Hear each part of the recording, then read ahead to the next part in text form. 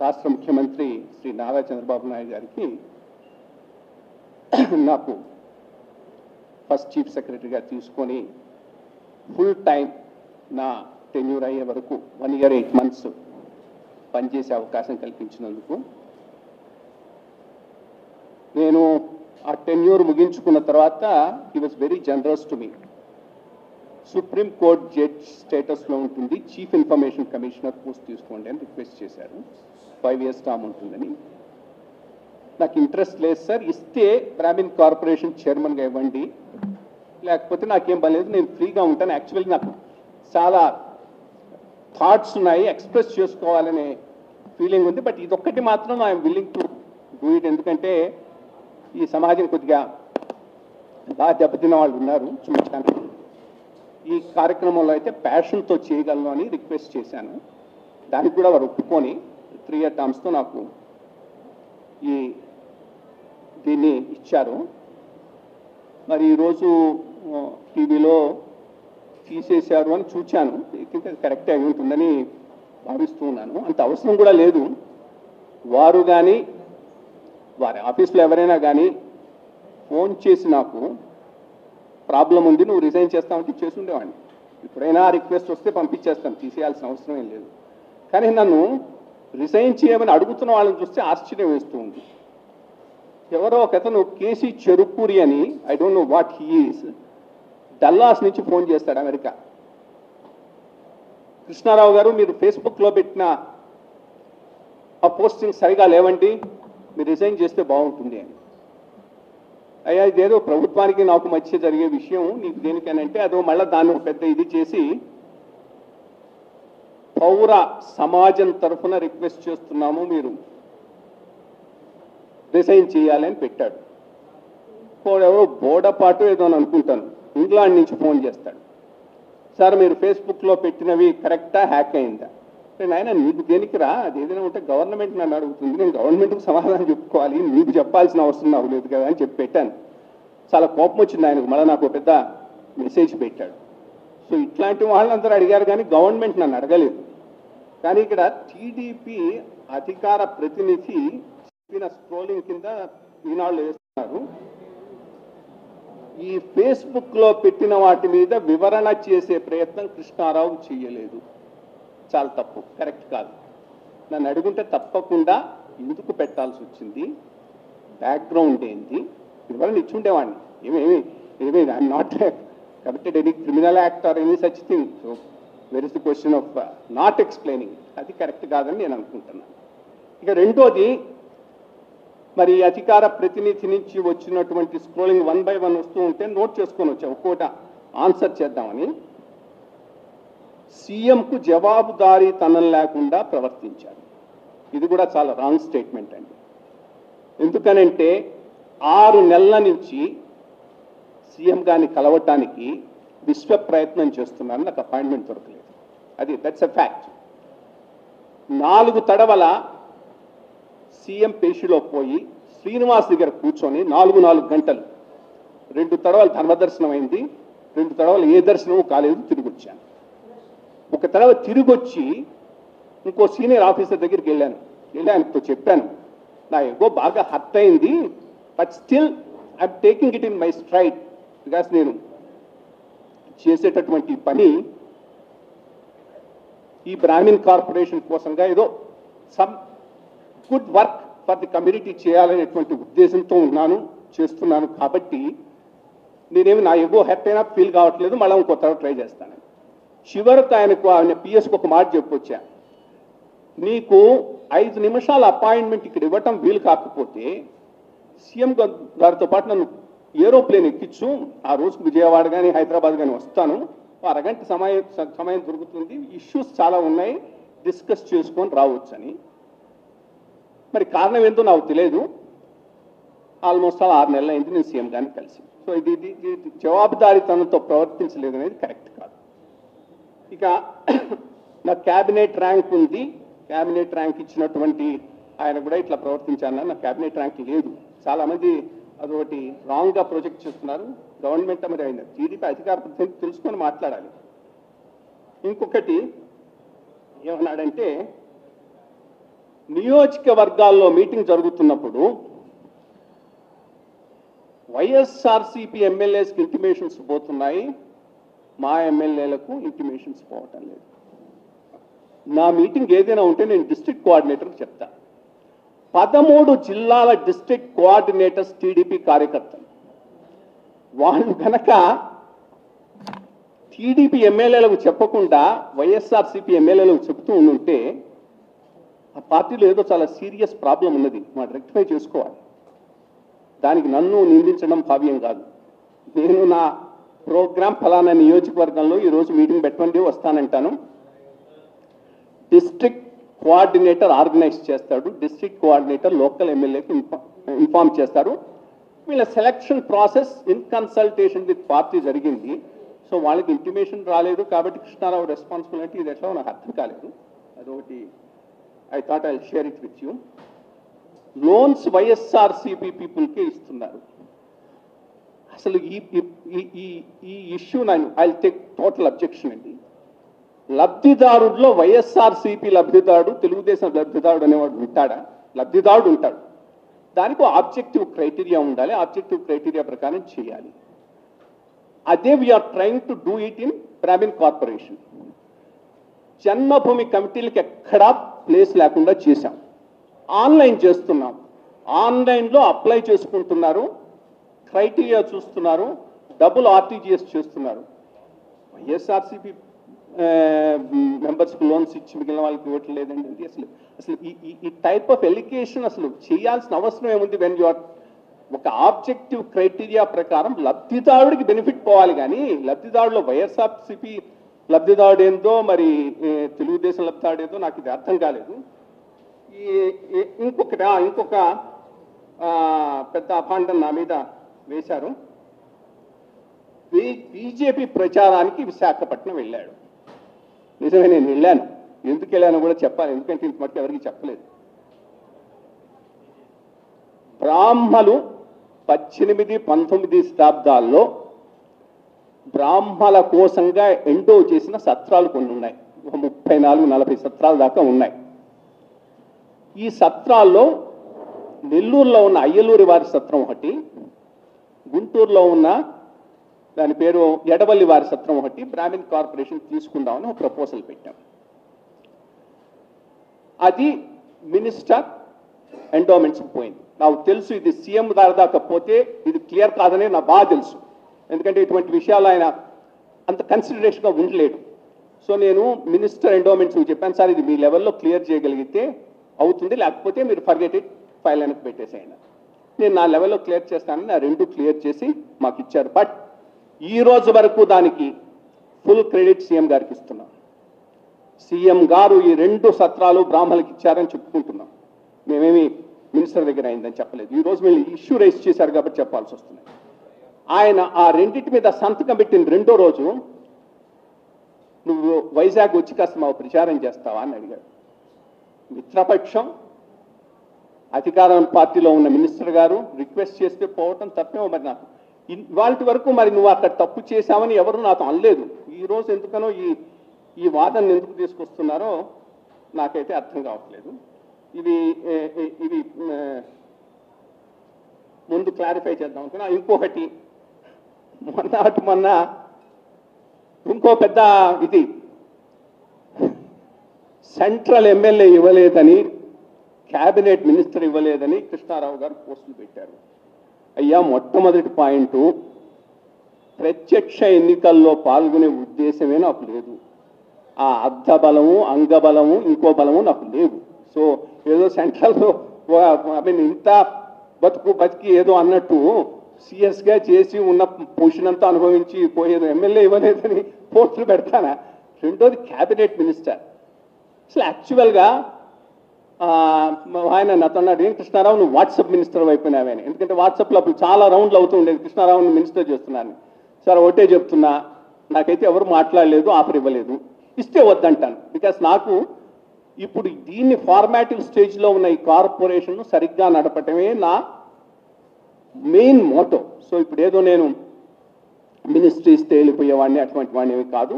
So I no interest అన్న. So అటువంటప్పుడు అసందర్భంగా ఏదో నేను ఎమ్మెల్యే పోస్టు ఇవ్వలేదనో లేకపోతే ఇంకోటి ఏదో ఇవ్వలేదనో దానికోసంగా నేను చేశానంటే అది కరెక్ట్ కాదు. ఇంకెవరో ఒక చోట ఈయనకు నెలకు రెండు లక్షలు ఇస్తున్నారన్నట్టు ఒకటి నేను శాలరీ తీసుకోవట్లేదు. ఈ ఈ కార్య ఈ పోస్ట్లో వితౌట్ శాలరీ పనిచేస్తున్నాను CM was very considerate and kind ఎందుకు అట్లా చేస్తున్నావు? శాలరీ కూడా తీసుకోవచ్చు కదా అంటే లేదు సార్. వితౌట్ శాలరీ చేద్దాం అనుకున్నా సరే ఏదో చిన్న చిన్న పర్క్స్ ఏవో ఉంటాయి. ఇప్పుడు నేను చీఫ్ సెక్రటరీ నా తర్వాత అయిన వాళ్ళు ఆ హౌస్ వద్దన్నారు. అది పెద్ద హౌస్ దాన్ని మెయింటైన్ చేసుకోవడానికి కొంత స్టాఫ్ కావాలి. అటువంటి ఫెసిలిటీస్ తప్పకుండా తీసుకుంటూ ఉన్నాను. అంతకు మించి నేనేమి ఈ పోస్ట్లో ప్రభుత్వం నుంచి తీసుకునేది ఏమీ లేదు. అదొకటి షేర్ చేద్దాం అనుకున్నాను. ఇక మెయిన్ ఇష్యూకు వస్తే ఇప్పుడు ఏం తప్పు చేశానని ఇంత పెద్ద క్యాంపెయిన్ రన్ చేశారు నాకు అర్థం కావట్లేదు ఫస్ట్ ఆఫ్ ఆల్ మరి రోజు సీఎం గారి మీద విరుచుకుపడుతూ ఉంటారు చాలా చాలా కామెంట్లు చేస్తూ ఉంటారు కేసీనేని నాని గారు జేసీ దివాకర్ రెడ్డి గారు వీళ్ళు వాళ్ళు. మరి అవన్నీ ఇగ్నోర్ చేస్తున్నారు కదా. మరి ఏదో ఎక్కడో ఒక చోట పెట్టిన ఫేస్బుక్ పోస్టు ఎవడో ఒకడు ఏదో రీజన్కు అది వాడు ఏదో దేనికోసం చేసుంటే అనుకోవచ్చు. దానికి కూడా ఒక చిన్న మనిషి పేరు నేను ఎందుకు mention చేయట్లేదంటే is not worth even mentioning అంటే అది వాళ్ళ లెవెల్ అటువంటి వాడిని మీ దగ్గర ఏదో ఒక చోట ఒక పెద్ద పోస్ట్ పెట్టాడు అతను ఫేస్బుక్లోనే ఏమని పెట్టాడు? జేసి దివాకర్ రెడ్డి గారు లేట్గా వెళ్ళి ఫ్లైట్ మిస్ కావటం అనే చోట ఎయిర్లైన్స్ది లోపం ఉంది. ఎంపీలు వాళ్ళు వచ్చినప్పుడు కొద్దిగా ఎక్కువ టైం ఇవ్వాలి కదా అని పెట్టాడు. ఇతను ఏదో తెలుగుదేశంలో సమ్ స్మాల్ ఫంక్షనరీ నాకు కాస్త అది చాలా బ్యాడ్ టేస్ట్లో ఉన్నట్టు అనిపించింది. వెంటనే దానికి నేను స్ట్రాంగ్ కామెంట్ పెట్టా. నువ్వు ఏం మాట్లాడుతున్నావు నీకు అసలు సెన్స్ ఉందా? ప్రోటోకాల్ ఆఫీసర్ ఒకడు అక్కడ ఉంటాడు. మామూలు వచ్చేటటువంటి ప్యాసింజర్స్ కన్నా అరగంట లేటుగా విఐపీలు వస్తారు క్యూలో నిలబడరు. డైరెక్ట్గా పోతారు. ఆ టైం కూడా ఏం రాలేదు కాబట్టి వాళ్ళు డోర్ మూశారు. ఎట్లా ఉందని అంటే చిన్నప్పుడు మా గ్రామంలో బస్సు పోతుంది పోతుంది అంటారు. సర్పంచ్ వస్తాడు ఆగరంటే అరగంట ఆగుతాడు అతను ఎక్కించుకొని పోతాడు. మనం జాతీయ స్థాయి నాయకులమైన సర్పంచ్ లెవెల్ మనస్తత్వాలు పోలేదు అని పెట్టాను మరి దాంట్లో ఏమీ తప్పేమీ లేదు. ఆయనకు అది చాలా ఆగ్రహం కలిగించింది. That small level functionary. ఈయన నా పోస్టుకు క్లారిఫికేషన్ పెట్టే అంతటి వాడా? సో ఏదో అతను is not even a friend for me in the face Facebook. మరి ఏ అకౌంట్ నుంచి ఎటు నుంచి పోయినాడో పోయి కొన్ని పోస్టులు తీసి బయట పెట్టాడు. వాటిని గురించి కూడా చెప్తాను ఎందుకు పెట్టాల్సి వచ్చింది అనేది అది I thought is one small part of the whole thing now April twenty second or so around that time ఈ గుట్టూరి రవికిరణ్ ఎవరు అతని పేరు? అతన్ని అరెస్ట్ చేశారు. అరెస్ట్ చేసినప్పుడు నేను చాలా ఫీల్ అయ్యాను. ఏంటి మనం ఏదైనా ఫ్యాసిస్ట్ రాజ్యంలో ఉన్నామా? ప్రజాస్వామ్యంలో ఉన్నామా? ఒక సెటైర్ను I mean can't accept what what what type of a system are in అనేది నాకు బాగా అనిపించింది. పొలిటికల్ సెటైర్ వేస్తే నవ్వుకోవాలి. చేతనైతే వాడి మీద వేయాలి. చదవకపోతే ఊరు కూర్చోవాలి. ఆ రోజు నుంచి ఆ వారం నాకు వచ్చిన పొలిటికల్ సెటైర్స్ మా వాళ్ళతో షేర్ చేసే అంతే. A small group of some about thirty forty people that's it that's the friend circle I have in the ఒకటి ఇన్ ది ప్రాసెస్ ఇతను నా ఫేస్బుక్ చాలా నా ఫేస్బుక్ పేజ్కి చాలా పబ్లిసిటీ ఇచ్చేశాను నవ్ ఐ రోజు వంద ఫ్రెండ్ రిక్వెస్ట్లు వస్తున్నాయి. ఇదంతా అయిన తర్వాత. సో ఆ మూడు నాలుగు పోస్టులు షేర్ చేశాను మరి ఏమైనా క్రిమినల్ లెవెల్లో జరిగినటువంటి తప్పేమో నాకు తెలియదు నేను నేను I didn't write any comment I I I I didn't make any post of mind just వచ్చిన వచ్చినట్టు షేర్ చేసా but background is this you go and check it it only happen for one week after this that Ibuturi Ramakrishna or somebody's incident because I really felt bad about that incident. So అంతకు ముందు లేవు ఆ తర్వాత లేవు. You can only that one week these post for share by otherwise I share lot of post చాలా ఫన్నీగా ఉంటాయి చాలా నచ్చినవి ఉంటాయి పక్క వాళ్ళకి పంపిస్తూ ఉంటాం. మరి అడుగుంటే ఆన్సర్ ఇచ్చి ఉండేవాడిని. If somebody just made phone call Krishnarao ఎందుకు పెట్టావు ఈ పోస్టులు అని ఉంటే ఎందుకు షేర్ చేసామని ఉంటే తప్పకుండా చెప్పుండేవాడిని ఎవరు అడగలేదు. నన్ను అడిగిన వాళ్ళంతా ఎవరో మా ప్రెస్ ప్రతినిధులు ఇద్దరు అడిగితే వాళ్ళకి చెప్పాను ఇదే ఇదే బ్యాక్గ్రౌండ్ ఇందుకోసం చేశానని చెప్పాను. So that was the only thing in which I have shared those two things ఇక నా పోస్టులను గురించి రెండో కమిటీ షేర్డ్ పోస్టులు రెండోది నేను పెట్టిన పోస్టులు అసలు ఫేస్బుక్ ఉంది express yourself with your friends లేకపోతే అసలు ఫేస్బుక్లో అసలు పేజ్ పెట్టుకోవాల్సిన అవసరం ఉంది. డొనాల్డ్ ట్రంప్ నుంచి విజయమల్య నుంచి శ్రీకాకుళంలో ఉన్న అరటి పండు దాకా అన్నిటి మీద పోస్టులు పెట్టా. ఆ పెట్టిన పోస్టులో రెండు పోస్టులు which they found objectionable is Gautami Putra శాతకర్ణికి tax concession ఇవ్వటం న్యాయబద్ధం కాదని ఒక పోస్ట్ పెట్టా. అది వీళ్ళకు నచ్చలేదు. ఇది గవర్నమెంట్కి వ్యతిరేకంగా నువ్వు పోస్ట్ పెడతావా? ఇప్పటికి కూడా చెప్తున్నా న్యాయబద్ధం కాదు కరెక్ట్ కాదు. చారిత్రక సినిమా నిర్మాణం చేస్తామంటూ చరిత్రను డిస్టార్ట్ చేసినప్పుడు దాని థ్యాంక్స్ కన్స్టిట్యూషన్ ఇస్తాం. రాంగ్ కదా? అది I felt it I put as a post for me and shared it with my friends. Second బాహుబలికి extra screening అవకాశాలు. అయితే అందరికీ తెలుసుంటే ఎక్కువ నిర్మాతలు ఇన్వెస్ట్ చేసి they will also produce such movies but in the process Gautam Putra Satakam నేను చూడలేదు Baahubali twice చూచాను మంచి cinema. So that's independent of this so అది what is wrong in that I can't understand ఇది రెండు కరెక్ట్ కాదని post పెట్టాను ఇక రెండోది ఇది కన్సిస్టెంట్గా నా మీద చేస్తున్నటువంటి దాడి. ఎవరు? మా ఫ్రెండ్ అనిల్ సింగల్ తిరుపతికి పోవడం ఇష్టం లేదు నువ్వు చేసావు అనేది ఫ్యాక్ట్ కాదని అదే నేను అక్కడ పెట్టిన పోస్ట్. ఎప్పుడైతే నార్త్ సౌత్ ఇష్యూ దీంట్లో తీసుకొచ్చారు ఇది అసలు నార్త్ సౌత్కు సంబంధించిన ఇష్యూ కాదంటానికి నేను పోస్ట్ పెట్టా. ఎందుకు నేను చెప్పిందల్లా ఒకటే. ఒక ట్రెడిషన్ ఉంది. ఈ పోస్ట్లో సౌత్ ఇండియన్ మోస్ట్లీ తెలుగు ఆఫీసర్ను నియమించేటటువంటి ఒక సాంప్రదాయం ఉంది. ఆ సాంప్రదాయాన్ని ఈరోజు భగ్నం చేసుకోవాల్సిన స్పెషల్ సర్కమస్టాన్సెస్ ఏమైనా ఉన్నాయా? లేవు. ఎందుకు చేశారు? That's the that's the only point అంతకుమించి ఇప్పుడు ఉత్తరాది ఆఫీసర్లు సమర్థవంతులు కాసు బ్రహ్మానంద రెడ్డి గారి కింద పనిచేశారు. వెంగళరావు గారి కింద పనిచేశారు. ఎన్టీ రామారావు గారి కింద పనిచేశారు. చంద్రబాబు నాయుడు గారి ఫస్ట్ టెన్యూర్లో పనిచేశారు. మరి ఎప్పుడు ఎవరిని వేయలేదే? ఇప్పుడు కన్సిస్టెంట్గా you preferred a south Indian office why suddenly a change here it was nothing to do with north south it has nothing to do with this particular individual with whom I have an excellent personal relationship and consider mace a very very efficient officer so అది ఒకటి నేను తప్పు చేశాంట ఈ రెండు నేను పెట్టిన పోస్టులు వాటిలో చేసిన తప్పు. ఆ మూడు sharing which was done with reference to that particular incident of uh, uh, that uh, mm, uh, social media activists arrest. But I felt really bad, so I shared whatever came to me. So this is the background in which this thing has been done. ఇక ప్రామిన్ కార్పొరేషన్కి వస్తే నేను చాలా I try to do a lot and అన్కన్వెన్షనల్గా కూడా చేశాను so నా request అలా గవర్నమెంట్కి ఏంది అంటే దీన్ని డైల్యూట్ చేయొద్దు దీంట్లో నేను అన్కన్వెన్షనల్గా ఎట్లా చేశానంటే గవర్నమెంట్కి పంపిస్తే ఇవి తిరిగి రావు కాబట్టి నా లెవెల్లో డెసిషన్స్ తీసుకొని చాలా చేశాను. And all with an interest that we should build institutions it should not be a subsidy doling process but institution building is far more important అనే పాయింట్ మీద నేను చేయటం జరిగింది. దానిని కాస్త మైండ్లో పెట్టుకొని నాకన్నా సమర్థులైన వాళ్ళు చాలామంది ఉన్నారు కమ్యూనిటీలో ఉన్నారు అదర్వైజ్ ఆల్సో ఉన్నారు. తీసుకు బట్ ప్యాషన్ కూడా కావాలి. అంటే సమర్థతే సరిపోదు. ఇట్లాంటి ఆర్గనైజేషన్లో పనిచేసేటప్పుడు నీకు సమర్థత ఉండాలి ప్యాషన్ ఉండాలి. అటువంటి వాళ్ళని ఎవరినైనా వేసి వాటి యాక్టివిటీ డైల్యూట్ చేయకుండా గనక ఉంటే సీఎం గారికి నేను శిరసా వంతనం చేస్తాను. దానికి ఏమీ ప్రాబ్లం లేదంటే నేను నేను ఇండిస్పెన్సిబుల్ అనుకోవట్లేదు.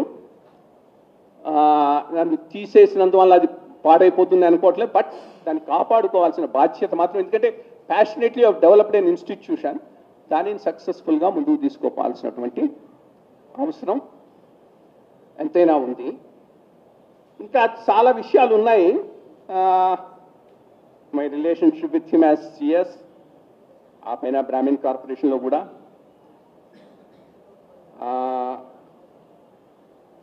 ఇవన్నీ ఐ థింక్ అన్ని ఒకే తర్వాత మాట్లాడాల్సిన అవసరం కూడా లేదు.